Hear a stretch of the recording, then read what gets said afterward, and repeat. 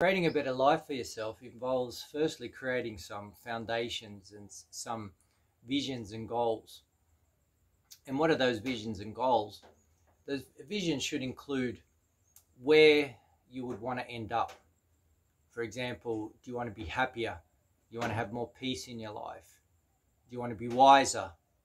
Uh, do you want to have a more uh, do you want to have more knowledge in your life?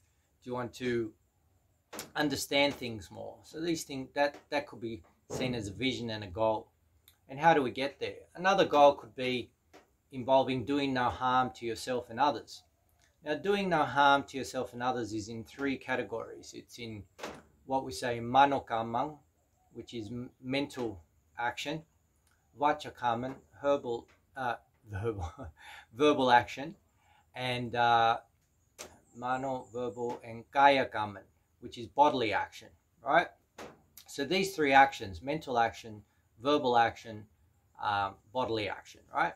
So not doing yourself, not doing any harm to yourself in these three actions and not doing you any harm to yourself or, or others, sorry, in those three, with those three actions either.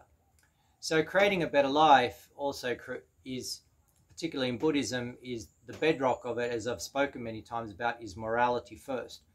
But what I want to go into more is the mental side of it, is understanding how things are created, understanding how things are done, and understanding the ingredients needed to get things done. And what are these ingredients? Well, persistence, conviction, confidence, strength, fortitude, right?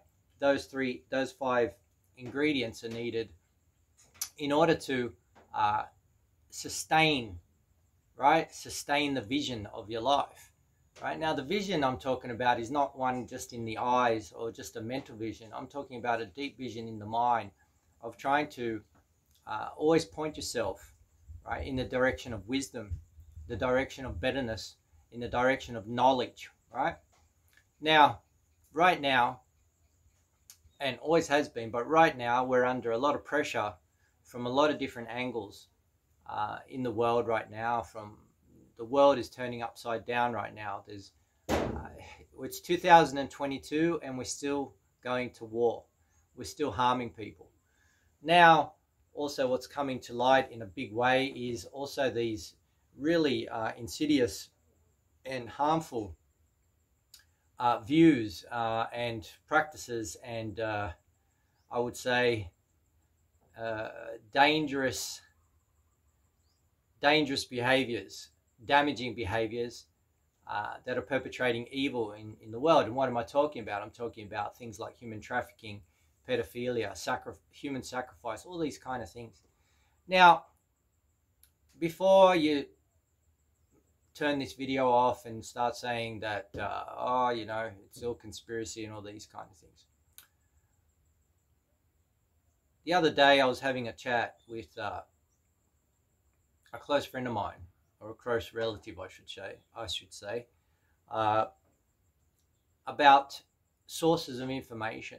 Now, if the person is speaking the truth, does it matter what the source is? Now, of course, there are sources that uh, like to pump out kind of uh, false information and things like this, but but sometimes they get it right, and sometimes there are people within that organization organization who get like a conscious uh, uh, make a conscious decision to try to set their lives right and start to try to do the right thing, even though the forces are against them, right?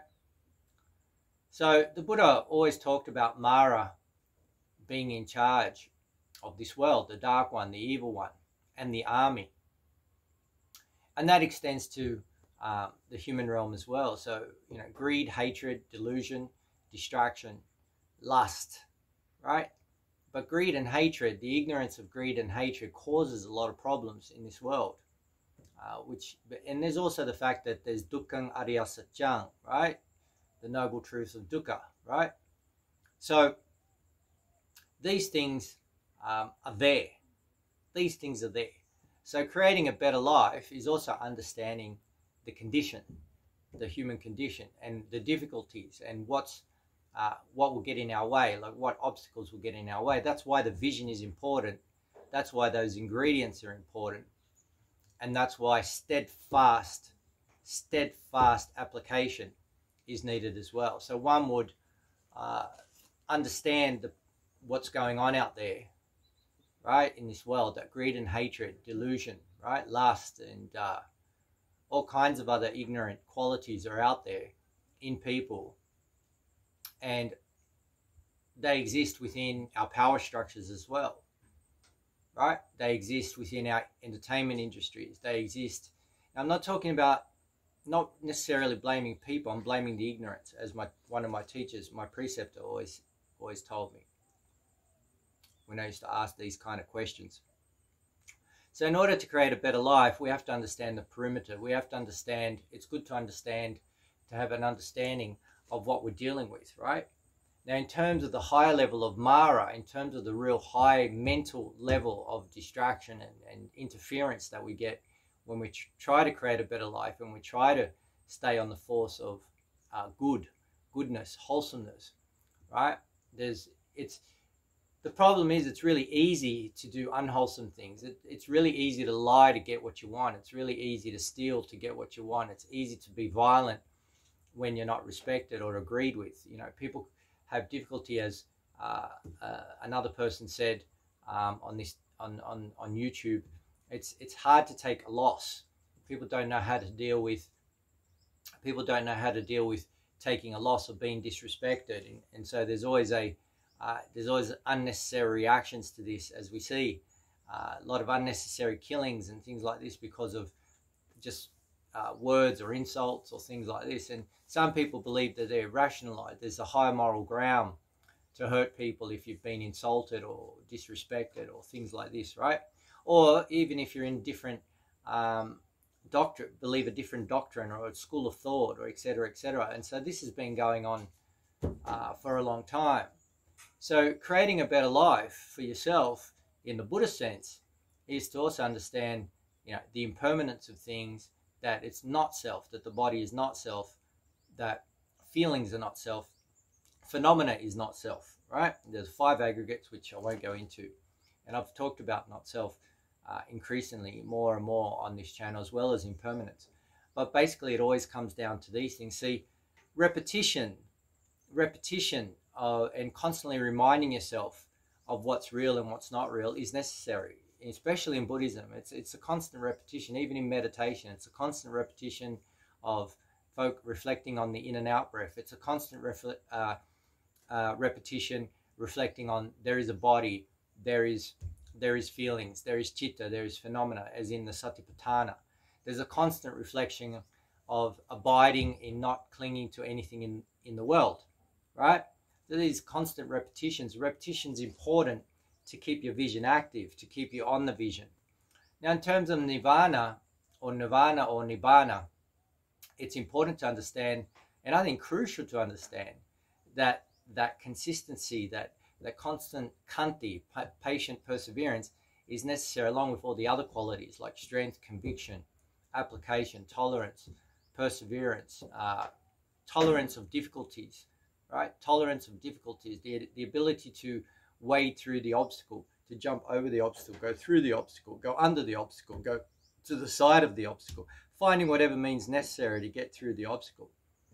Now, life is very difficult uh, in in a lot of ways, it's difficult for a lot of people, for maybe all of us. Life is difficult for all of us, I believe. Everybody has their own difficulty in life or their own problems, uh, either with family, friends, work, or they're, or they're in situations they don't want to be in. And I think a lot of people, everybody, has some form of difficulty, uh, more some more than others, etc. But unless that only that when we say some more than others, that's if you start comparing notes right? So that's understa- understood. But the vision in your mind needs to be steadfast and locked in, right? The vision in your mind of creating a better life needs to be locked in in your mind. So that intention needs to be locked in in your mind, in your chitta. And through there, you start throwing all the other ingredients in there, like strength, conviction, right? And daily application, daily application of the principles. So, what were the principles? well, morality is a principle, and I've talked about that. Um, and, you know, I'll talk about it more and more. as we go. It's necessary to keep talking about these things. But then there's the concentration aspect. Then there's the development of right livelihood and the eight factors, right? The eight factors that are to be cultivated and developed, right? So those you can do in any situation, whether you're a monk, a nun, a layperson, it doesn't really matter. But though that vision in the mind of where you want to be, where you want to be in the sense of what type of person do you want to become, right? So this is why, uh, particularly in this tradition, we use a lot of the Buddha, the Buddha, Buddha uh, mantra or mantra, right? Australian mantra should be mantra, right? Whatever. But but in any case, the Buddha, when we reflect on Buddha, which is also, as I've explained, one of the four Guardian meditations, and also it's Vipassana, right? Which Vipassana uh, clearly means insight, but to get insight, one needs to analyze and investigate. That's how you get the insight. But first, there needs to be a bedrock of sta stable concentration, like a certain stability is needed.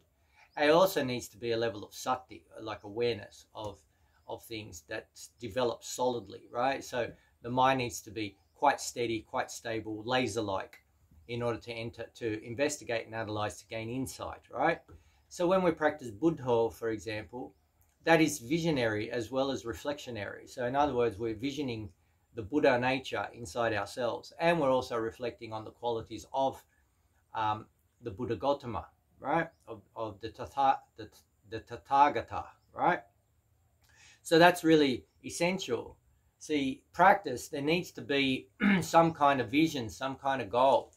Now, of course, if the goal is Nibbana, the thing is, what is Nibbana? Nobody knows. But what we do know is that there is impermanence, right? When I say nobody knows, the Arahant knows, of course. But I'm saying in terms of the person of the uh, of the seka, of the person in practice, or the samana. The samana does not know, but seeks, but seeks it, right? So that's an important distinction to be made. And as the Buddha always said, practice, cultivate and develop, and comprehend dukkha, uh, abandon uh, avidya and tanha, cause of craving, and then re realization of nirodha, realization, sorry, realization of the cessation of dukkha takes place, right? If, if one follows the follow follows the cultivation and development of the eight factors. So in other words, there has to be some kind of implant mentally that this is how this is how I would like to develop. This is how uh, I would like to end up in this lifetime, right? So that need that's essential to create a, creating a better life, and then you mix that up with intentions. Now this isn't easy because there's a lot of things, and I can't uh, talk about all of it in a I don't know 10 minute video or something. Okay, so there's more to talk about this. Okay, there's more to be said about this, but in in essence though, uh, creating a better life starts with the the mental application, the mental steadfast determination that you want to get there. Then you start to put all the the verbal and the bodily actions in line with that, right? In line with your with the mind, and you steer the mind always to wholesomeness. You steer the mind to development of those qualities and to stay to stay on that track, to stay in stay on that line, on that journey, on that path, or whatever you want to call it, or to just stay here in the moment in that state of awareness all the time. Right? Where you're constantly pushing yourself, developing yourself, cultivating yourself to, to betterness. And that's very important in Buddhism. Right? And to do that, we need, you know, the, the help of the Dharma, we need the help of the Dharma. We don't need the help of adharma or false dharmas, right? But please understand that in this world, there's a lot of evil going on. It always has been. There's atrocious things going on. And the best thing we can do is not add to it, not to give to it, um, to abstain from it, and to create ourselves, develop ourselves, create a better life for ourselves, but develop ourselves. So one day we're in a position to do some, we could do some more outreach or do uh, create a different world in a certain sense. Although creating a different world, I'm talking about individually, like your own world, not as in the big world, because that that to me is not realistic, right? It's just a dream. But then again, you know, who am I to who am I to poo-poo anyone's vision of of that reality? But what we can do, what I what I can say with with uh, what, what I think is a reasonable argument is you can change your own world and maybe you can help change the world of others around you as a beginning, right? So this is why we do these practices, not just to benefit ourselves, but when we're benefiting ourselves and we're growing ourselves, we're more of use to the community and our loved ones and everybody else around us in the long run, right? In the long run. So I urge you to keep up your practice and to create a better life for yourself.